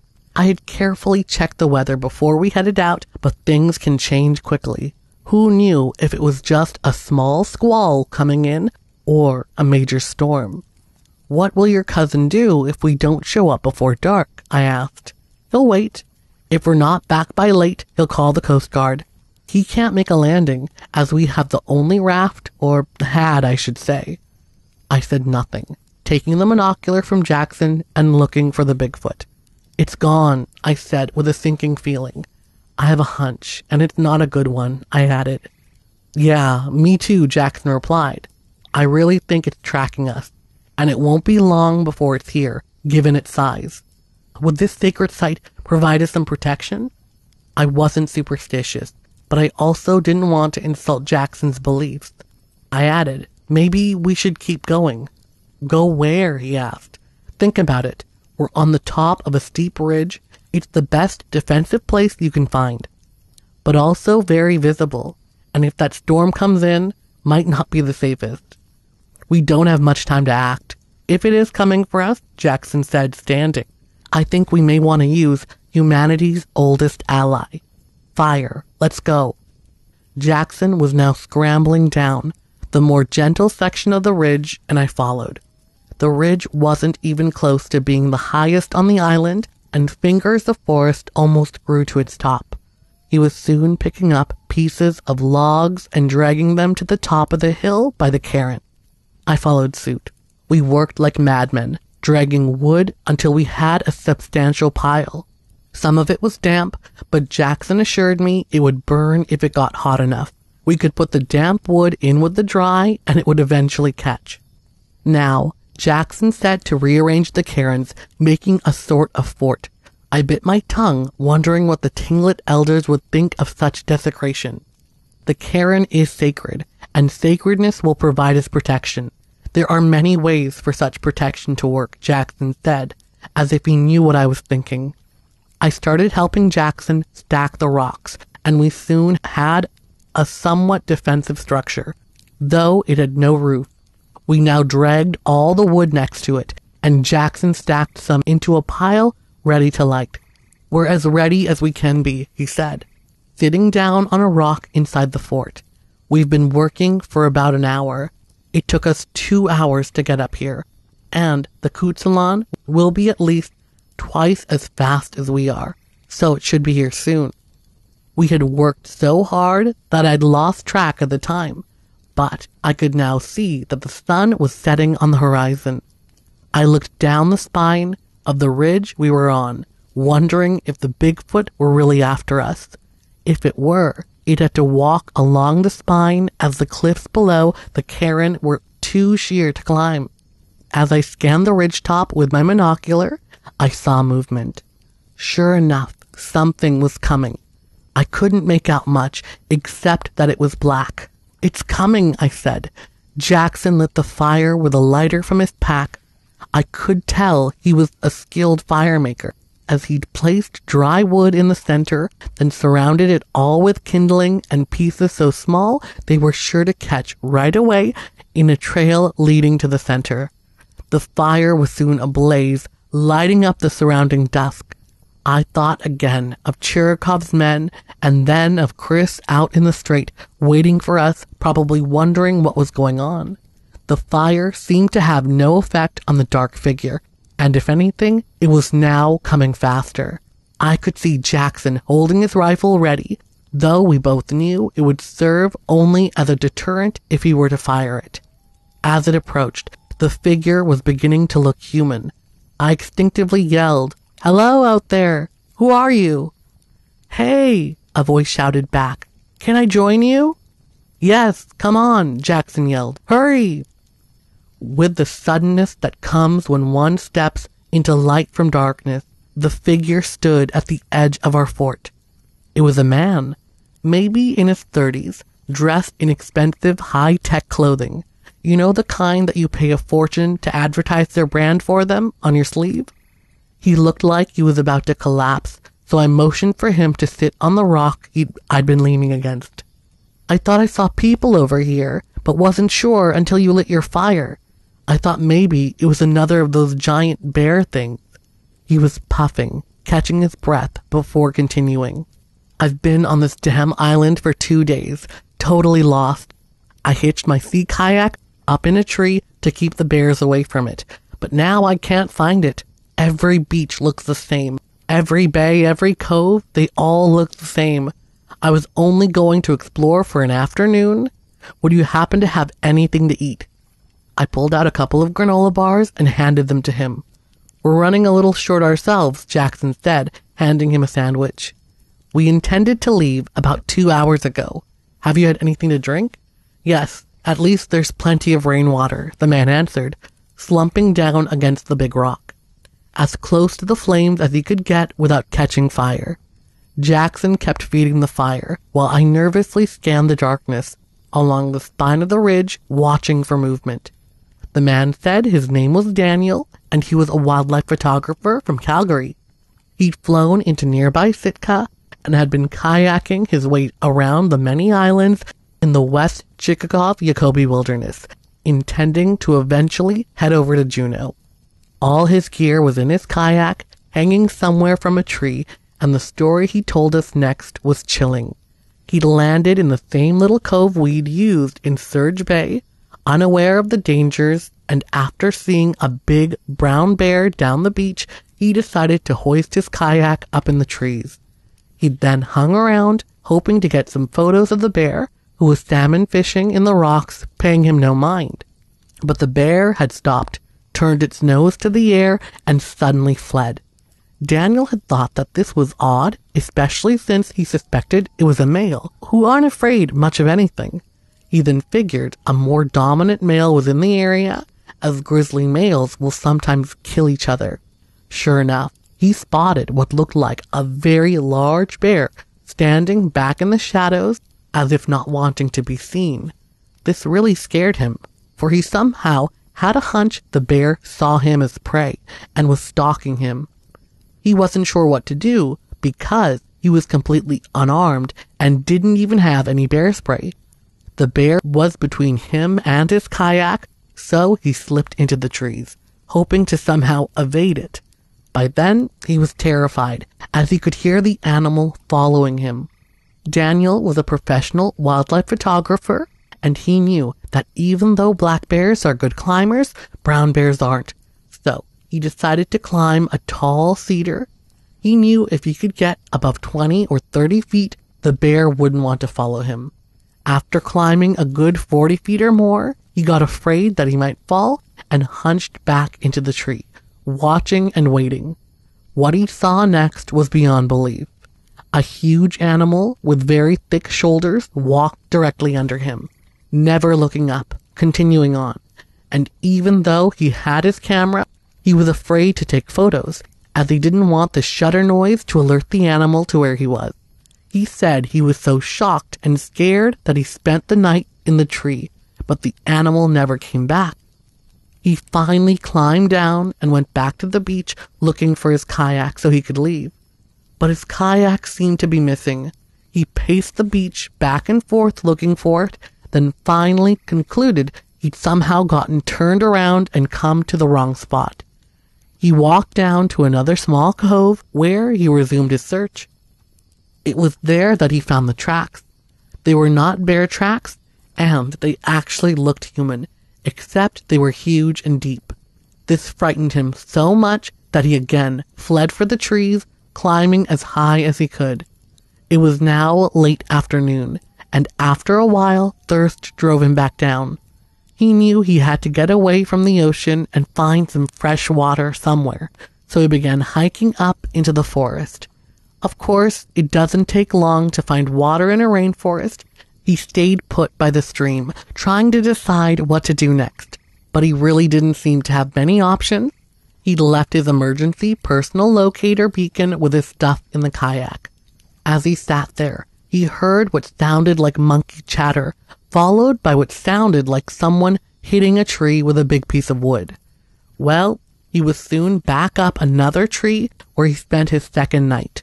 By then, his desperation and hunger had changed to a real fear that he would die on Yakobi Island. The next morning, he again went back to the beach, but still couldn't, but still could not find his kayak. However, he did find something of interest. Our tracks. That's when he decided to track us, but he also found that it's very difficult to track anyone or anything in a rainforest and soon lost us. He wanted to yell to get our attention, but he was afraid he would be found by the big black thing. So he trudged along, hungry and tired and scared. He finally decided to climb a ridge to see if he could spot us, which he did. The exact same ridge we were on. He had no idea who we were or why we were there, but he did know that we were his only hope for rescue. He said he nearly stepped off the narrow ridge several times, running to catch us in the near dark. Of course, it took Daniel some time to get his story out between eating and drinking and catching his breath. While he was telling it, I continued to scan the ridge to see signs of the creature as Jackson fed the fire. I finally turned my back to the fire, looking out the deep purple that was the Pacific Ocean. Jackson, look, could that be Chris? I could make out a small light that looked like a boat riding on the edge of Surge Bay. Jackson stood from where he was squatting by the fire and looked. It took his eyes a while to get used to the dark, but then he said, It's a plane or something coming in. I held up my monocular again, but it was too hard to spot anything in the darkness. I eventually saw what Jackson was seeing, and we both heard it at the same time. A chopper. Had Chris somehow called in an SOS for us? Soon, the flap flap sound of two huge rotors became a deafening thump thump as the chopper headed straight for us. It had seen our fire. I won't go into the details, but it was indeed a rescue chopper. A big Coast Guard MH-60T Jayhawk out of Air Station Sitka, and soon our perch on the ridge was bathed in a blue light, followed by a crewman coming down on a cable to assess our situation. Daniel and Jackson were soon on the chopper, each riding up in a basket. I went up last after carefully putting out the fire. It was quite the ride up in that basket, I can tell you. And just as we headed out, a heavy rain set in. We eventually ended up in Sitka, then Juneau. Chris slept in his boat in the storm near Surge Bay, then motored his way back the next day in his boat. Daniel never did get his kayak back, but he didn't seem to care. And last I knew, he was headed home on a plane out of Juneau International Airport. I held up in my hotel for a day, then decided I wanted to go home for the rest of the time before the trial reconvened. I called Jackson and invited him to dinner at the Red Dog Saloon, where I handed him a wad of bills. He took them reluctantly, saying he was a poor student or otherwise he wouldn't accept the money, as he considered me his friend. I told him it was well worth it for the adventure, not to mention having a good story to tell. Besides, Chris needed to buy gas. But before we parted ways, I told Jackson I was a little disappointed, as I'd been hoping to see a Kutsalan close up out there on Yakobi, even though I was scared to death. Don't be sorry, he said. Seeing one very close is considered to be very bad luck. Be glad you didn't. I guess that's good then. But one last thing. Did you hear what the Coast Guard crewman said after he hoisted me up? No. He asked me about the other big guy down there, back on the Ridgeways. Jackson looked shocked. What'd you say? I told him it was a bear. He acted like he didn't believe me, but when the chopper lights hit it, he quickly closed the bay and told the pilot it was all clear. I'm actually very glad I didn't see it. Yeah, me too. Jackson was quiet for a while, then said, Well, it's been interesting. Best of luck and so much for Yakobi Island. He nodded goodbye and walked out of the restaurant door as I ordered another bottle of Alaskan Hypothermia Pale Ale. On to the next one. The cold nights of October, coupled with the morning's frost, had me itching for the arrival of opening day for rabbit season, which began in November. There was a tremendous amount of land, both federally owned and state owned, available for the hunt. At that time, a large amount of farming properties had already been abandoned and were being reclaimed by Mother Nature in the form of brush and briar fields, which made for spectacular rabbit hunting. I personally knew an old codger named Mr. Graves whose family had owned a number of large land holdings in the region. He would allow me to hunt his properties in exchange for some field game. And it was that November had finally rolled around, and with it, I took my Beagle Ruffian out for the first hunt of the new season. I was working a 600 acre field that was once used for growing cotton, which was now comprised of waist deep bramble and some thin trees. Mr. Graves would take out his tractor with a cutting attachment on it prior to the season opener and carve out several pathways around the field to aid in the hunt. On my first day in, Ruffian and I scored seven nice cottontails in four hours, and I made my way back home. The following day, we had a heavy rain, So it was two days later that I was back in the field on the hunt. Now, the area which I had gone into on this day was low lying in the field. I mention this because the land from my position was elevated some 50 feet and going to my north about 300 yards. This concealed the rest of the field from my view unless, of course, I was to walk up this elevation. Ruffian was working the brush hard, and as of 8 a.m., I hadn't yet fired a round. It was windy and very cold. At this point, I was walking, cradling my Remington in my arms, heading in a westerly direction on one of the paths that Mr. Graves had cut through the bramble. The elevation with which I just described to you was on my right hand side, being to the north. Suddenly, Ruffian let out one of his beagle howls. I turned my head to the north in response.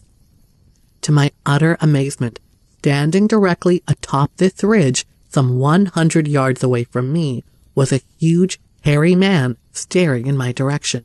Ruffian was leaping up and down and howling, but the beast just stood there unmoving. The growth in the field was uniformly about three to four feet tall, and at the distance I saw the creature standing, the brush was concealing its lower body to about mid thigh. The creature stood its ground for maybe a minute as I attempted to calm Ruffian in a hope of not scaring it off, but such was not the case that day. No sooner had I calmed Ruffian down than did the beast turn and walk back out of sight behind the ridge. This beast was standing against the backdrop of an overcast sky amid a gray and golden yellow field of bramble and tall grass. This outline was almost black, and it had to have been standing some ten feet tall. I could see, even at the distance I was away from it, that its upper shoulders tapered up to what were the sides of its head. It appeared to be extremely broad and muscular, with its chest being in a very distinct V shape, and its arms hanging away from its sides.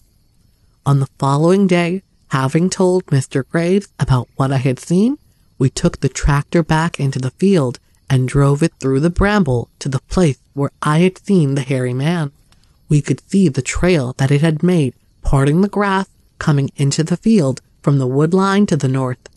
We followed the trail on the tractor and along the way we came across a large pile of scat, which was not that of any animal in this area.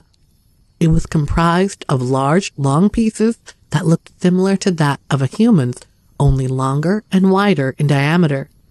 I realized that nobody is too keen on talking about scat, but as a hunter, scat is an important determining factor when tracking. Our morning ended with nothing else having been found. On to the next one. We have spent many enjoyable days hiking at Bayocean, which was at one time one of the largest cities anywhere on Oregon's coast. Now it is just a pretty park-like place to hike. We enjoyed many days taking our dogs with backpacks, carrying food, dog food, and plenty of water. We usually parked in the designated area on Tillamook Bay and hiked north following the road past where the Bayside Hotel and wharfs had been. We had made this trip about six times and were always amazed at the variety of birds that made their homes here. A Kansas City real estate developer had built a three-story hotel of concrete, a water system, concrete streets, dance hall, a huge natatorium, a railroad, and sold over 1,600 building lots, a wharf, and a town.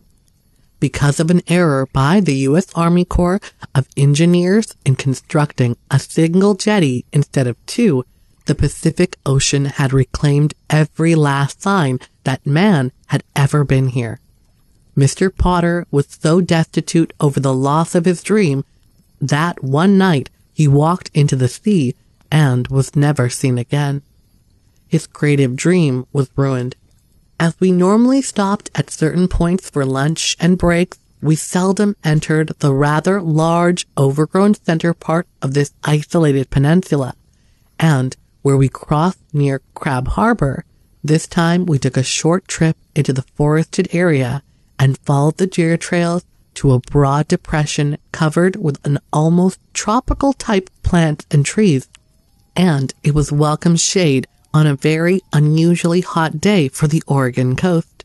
Suddenly, a large, brown, shaggy, bear-like beast stood up from a small pond, saw us, and made a sort of snort, and tore right up the massive sand dune behind it and disappeared over the top.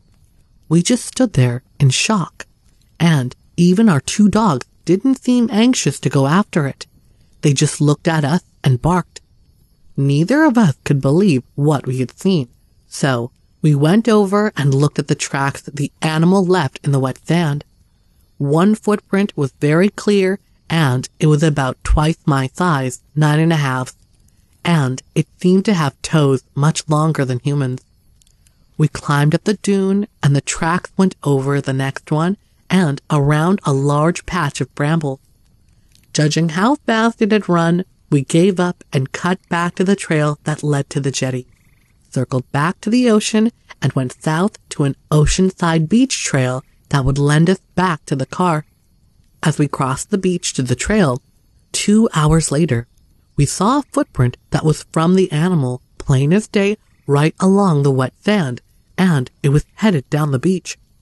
There was a narrow spit that it must have gone through to get to the other shore. That was the place where the peninsula was breached to turn Bayocean into a temporary island years ago when it was destroyed. We stopped at the Tillamook Police Department to tell them what we saw and just got a knowing smile and thanks for the report. But we hear about it each year at least once. It seems odd that something so strange and people just seem to accept it, but seldom does it ever get written up. And the explanation we were given is they don't want to scare tourists as their annual city income is realized over the four month period when they have nice weather each year. We can understand that being self-employed ourselves. On to the next one.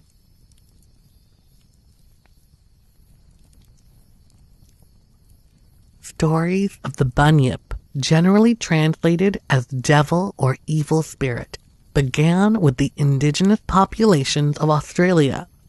According to the Dreamtime legends, the Bunyip is a river spirit that will eat anything too close to the river shore, including livestock and children. The lore regarding the creation of this beast states that a man named Bunyip broke the great law of the rainbow serpent by eating his totem animal. The good spirit, Baiame, cursed Bunyip into an evil spirit who lured its victims to it. An early account from 1847 describes the creature as such. Much dreaded by them, the locals, it inhabits the Murray. They have some difficulty describing it. Its most unusual form is said to be that of an enormous starfish.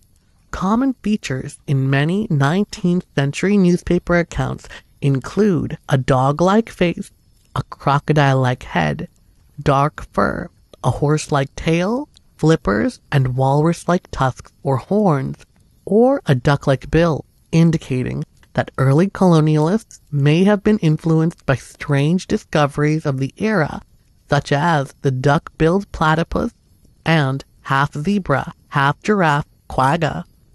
More modest accounts tell of a creature about four to five feet in length with the body of a calf or a seal and a head resembling that of a dog, as well as possessing long fangs and sharp claws.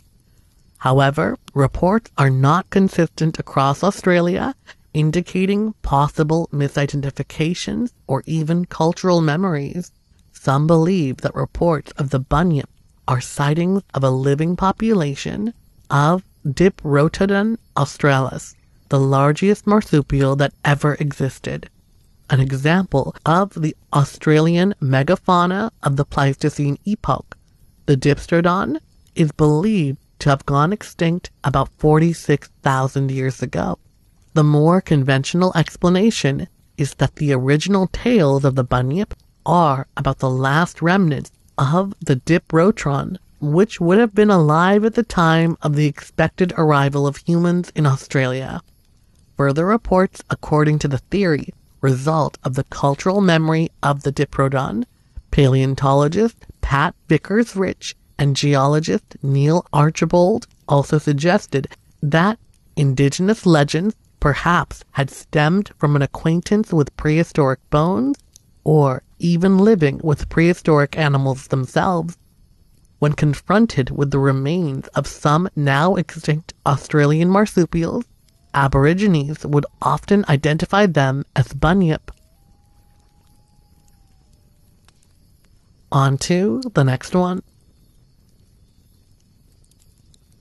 From the wilds of the Australian outback comes reports of a living Tyrannosaurus rex.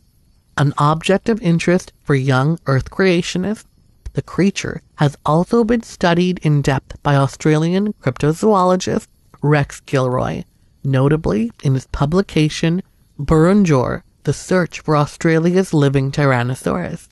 Gilroy recounts one supposed encounter with the creature. In 1978, a Northern Territory bushman and explorer, Brian Clark, related a story of his own that had taken place some years before. While mustering cattle in the Urapunga area, he became lost in that part of Arnhem Land. It took him three days to find his way out of that region and back to the homestead from which he had originally set out.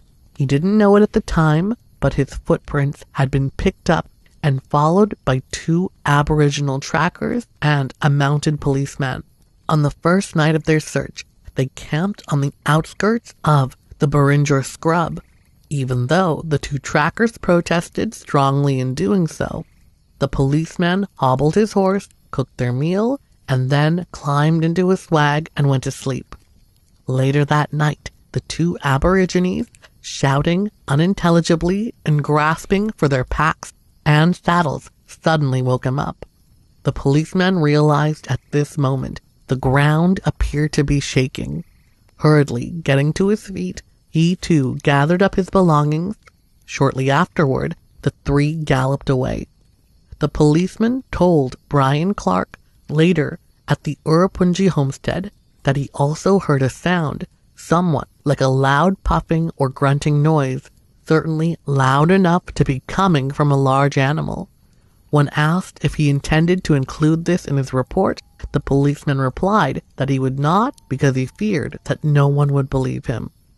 The policeman warned Brian Clark never to return to that area because if he got lost there again, he would be on his own the police would not come looking for him. Legends of a large bipedal creature also appear in the Dreamtime legend. Gilroy has collected pictograph artwork that seems to show the popular depiction of a T Rex. On to the next one. Perhaps one of the most fearsome reptiles to ever exist. The megalania was part of the megafauna that developed over the centuries on the Australian continent. The reptile is estimated to have been somewhere from 5.5 to 7.9 meters long, thus classifying it as the largest terrestrial lizard known to have existed. Feeding upon medium to large marsupials, the lizard was possibly able to run around 3 kilometers per hour. Some researchers have even suggested that, like its living cousin, the Komodo dragon, it could spew venom. The creature overall has been described as a giant Komodo dragon, supposedly driven to extinction around 50,000 years ago by other predators or the arrival of humans and their ability to utilize fire. Some have suggested a later date of extinction for the megalania, based on the Bundjalung National Dream Legends Dirrawong, a god described as similar to a megalania that gives the nation the tools and knowledge to survive. Based on the time of arrival of the indigenous populations of Australia, this could indicate a time of the extinction for the Megalania, around the end of the last ice age 12,000 years ago. On to the next one. Regarded as one of the fiercest creatures to ever exist, the megalodon, a relative of the great white shark, is estimated to have been 10.5 meters long on average, with a potential maximum length of 18 meters. The species fed on large prey such as whales, seals, and sea turtles, while inhabiting warm coastal waters around the world. Fossils, predominantly teeth, have been found near Australia, New Zealand, Fiji, and French Polynesia. The creature, by all scientific estimates, went extinct 3.6 million years ago. Distribution patterns show that various prey of the megalodon experienced a boon from its extinction, with the great white shark extending into its former habitat. Supposedly fresh teeth, such as those dated as being only 11,000 years old from the HMS Challenger, seem to have found a lower rate of decomposition that made early dating process produce poor results. While sightings have occurred sporadically prior to 2013, belief in the continued existence of the megalodon gained more widespread acceptance after Animal Planet ran Megalodon, the Monster Shark Lives, which presented itself as a documentary that the shark could still be alive.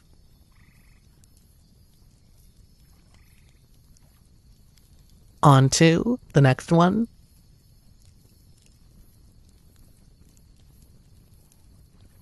I guess it started when Dad bought the painting. Now, my dad isn't an art expert, but he does love a bargain. He found a painting on eBay, an original piece that no one seemed to be bidding on. Dad snapped it up, virtually sight unseen. He spent days crowing about his great buy. When it was delivered a few days later, the first surprise was the size. Apparently, Dad hadn't checked that out. It was 24 by 36 inches, so not small.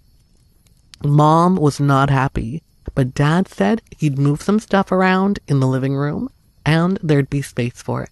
While Dad had been talking, all I'd been able to see was the back of the painting.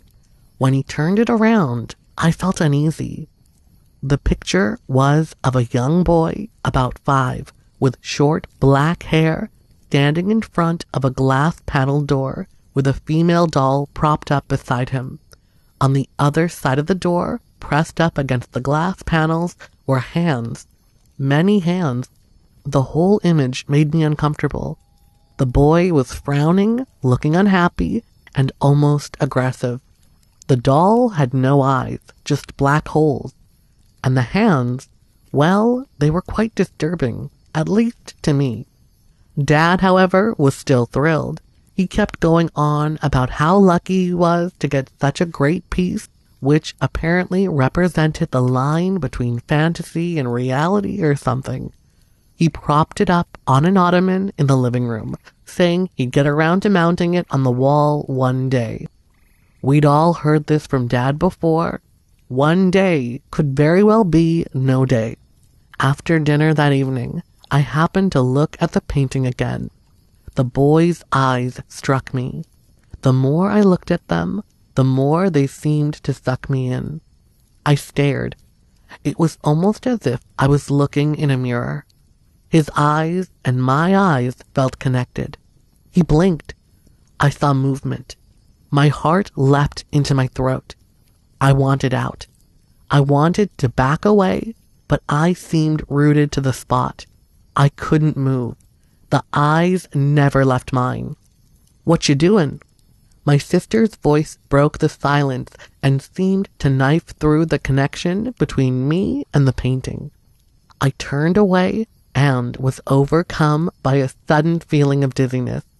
I dropped into a chair, careful to avoid any glance at the painting. My sister came up to me. You okay? You look terrible. Yeah, I just dizzy. I shook my head. I'd been up since early that morning, and I'd been out all day in the sun. Must be a touch of sunstroke or something. I grabbed a bottle of water and headed off to bed. As most people would, I rationalized that experience. I just assumed it was me, my mind playing tricks on me.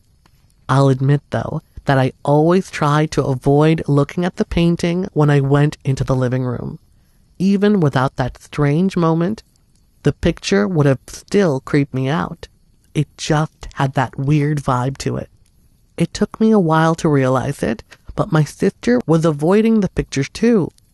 Now, I have to admit, we didn't talk that much.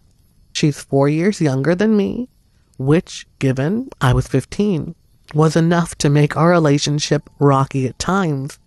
It's that family thing, being too similar and too different at the same time. Anyway, I noticed that she would always choose a seat and keep the painting out of her immediate sight line whenever she was in the living room. If she had to go across the living room, she'd always try to stay as far away as possible, even if that meant going well out of her way. Usually, if I'd noticed behavior like that, I'd have used it against her, teased her about it. That's what older brothers are supposed to do. Not this time, though. This time, I shared at least a little of her fear. One night, when her parents had gone out, we were sitting in the dining room and I asked her about it. She replied, immediately and seriously, The boy is evil, she said. The whole picture is evil. I don't like it. I didn't laugh. Instead, I asked, Why do you think that? She leaned across the table and looked me straight in the eyes the thing it rests on, the ottoman. It moves, she whispered. I was going to laugh, tell her to stop trying to tease me, when I saw the look on her face. She was serious, deadly serious, and she was scared. When? I asked. When mom and dad aren't in the room. Suppose no one's looking straight at it. It moves. It shakes. It's scary. I felt I had to do the big brother thing, be the voice of reason.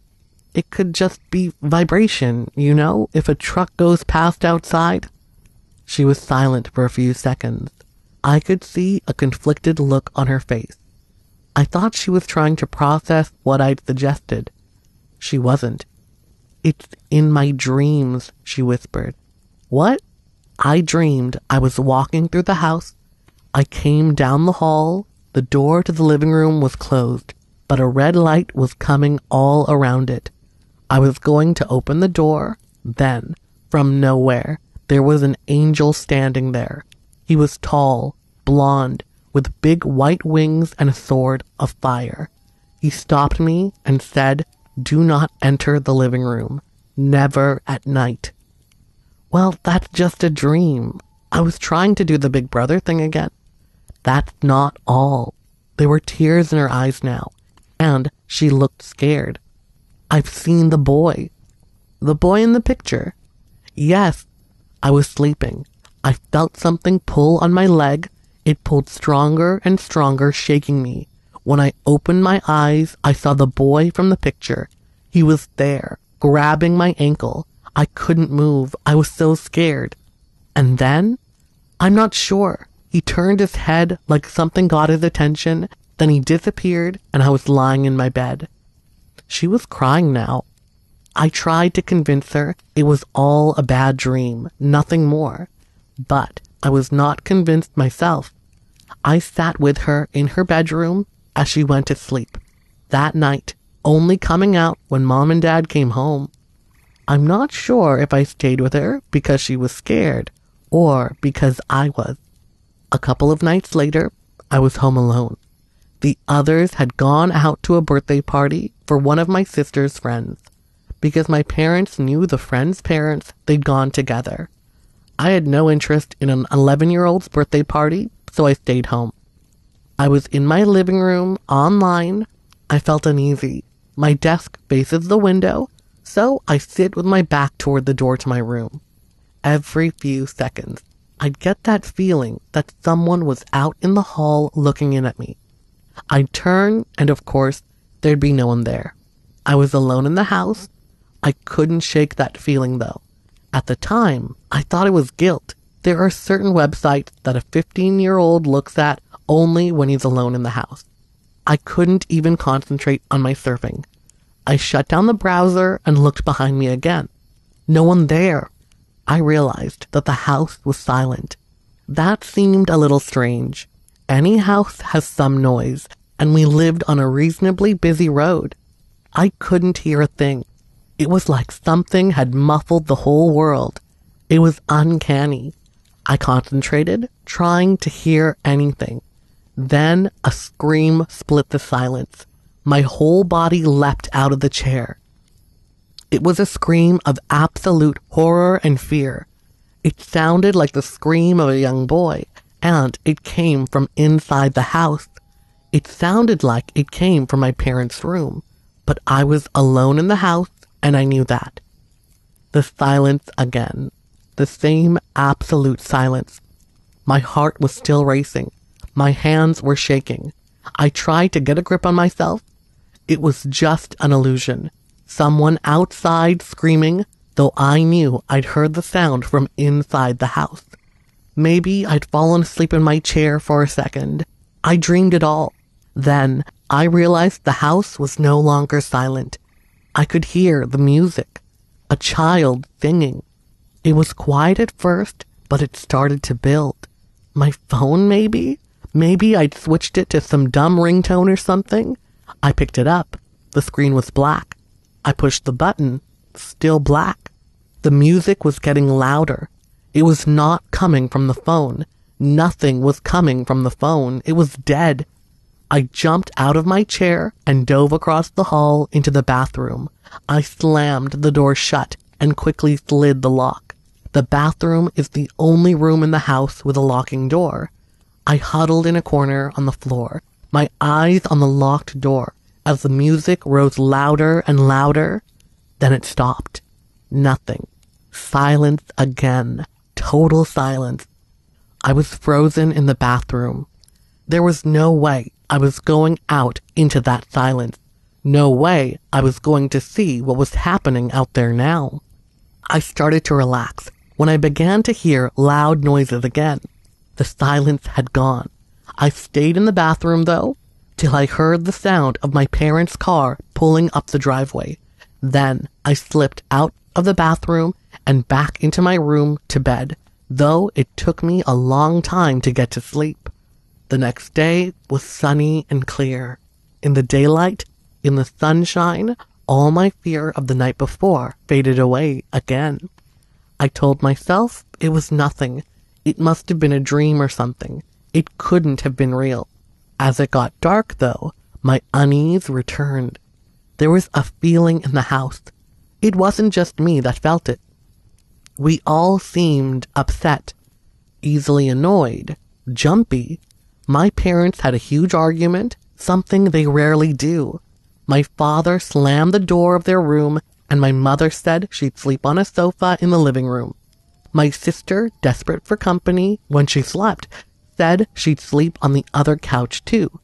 To keep mommy company, I went to bed, feeling that the whole house seemed to be smothered in a haze of darkness. Nothing physical, but a suffocating feeling that seemed to have spread across all of us. Surprisingly, given my feelings and what had happened the night before, I fell asleep almost instantly. Later, I dreamed. I was standing in the hall just outside my room. It was our house, but it was wrong. All the windows were black, like there was nothing outside the house. Like you do in a dream, I somehow knew something was coming. I turned toward the stairs. The lights on the stairway were on, but they started to flicker, slowly at first, then faster, almost as quick as a strobe light. I walked toward the stairs and looked down. In the flickering light, I saw a small figure walking up towards me. I could barely make out his appearance. He seemed to be a young boy, but the colors were all wrong. His skin was gray, his clothes black, his head was down, so I couldn't see his face. Then the lights went off completely. I was left petrified, standing in the darkness. Then they came back on. The child was standing right in front of me at the top of the stairs. I knew he was small, but somehow he also seemed my height. I could look him straight in his face. His gray features were contorted into a look of hate and aggression. He hated me. I could see it. His eyes glowed yellow, and they seemed to be getting brighter, burning into my mind. My thoughts rushed back to barely believed religious instruction. In the name of Jesus, leave me alone, I shouted at him. He vanished.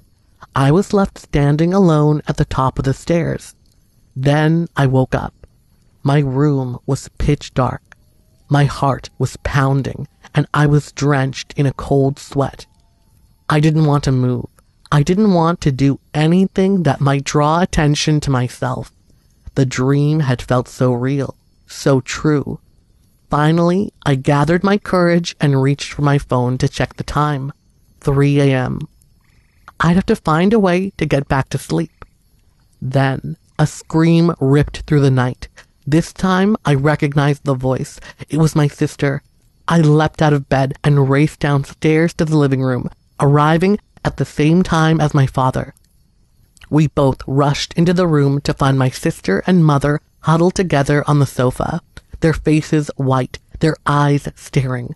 My father rushed to comfort mom, all thoughts of their argument gone. I hugged my sister, feeling her galloping heart through her pajamas. What happened? Dad asked. Not here, Mom replied. At Mother's insistence, we all moved into the dining room. With hot cocoa and coffee made, my sister told her story. She'd been asleep on the sofa. Something had grabbed her ankle and started pulling. She had an old blanket pulled over her face, but it had a hole in it, and she'd seen who was there. It had been a little boy about five with short black hair. His face, though, seemed to be falling off his skull. She said she could see bone poking through. His eyes were empty black holes. She'd closed her eyes, not wanting to see any more. Then it seemed to stop and she felt like she woke up again. The boy was standing in the living room. He started to run faster than any little boy could out the living room door, back in again. Then he stopped and stared at her. She said the stare felt evil, like she could feel the hate flowing off of him. Then she screamed and he vanished. Mother had been quiet through the story. She looked concerned, though. I asked her why. Your sister screaming woke me up. It gave me quite a shock, she said. Just as I was opening my eyes, just as I was waking up, I could have sworn there was another person in the living room with us. I didn't see him clearly, but just for a second, I'm sure I saw someone small standing there. All three of us turned to Dad. Get rid of that painting, Mom said. My sister and I nodded. Dad, to his credit, didn't argue. The very next morning, he took it in his car. On the way to work, he dumped it behind the old brewery. He said no one would ever find it there. I hope not. I don't want anyone else to go through what we did. Congratulations on making it to the end of today's video. Why don't you comment the color of your shirt down below to let me know you made it to the end of the video. I hope you enjoyed those encounters. And if you did, be sure to hit that like button, leave a comment, and subscribe. I post new content every single day, so be sure to hit that notification bell and you'll be notified exactly when that new content arrives on my channel. Again, thank you so much. And until next time, bye!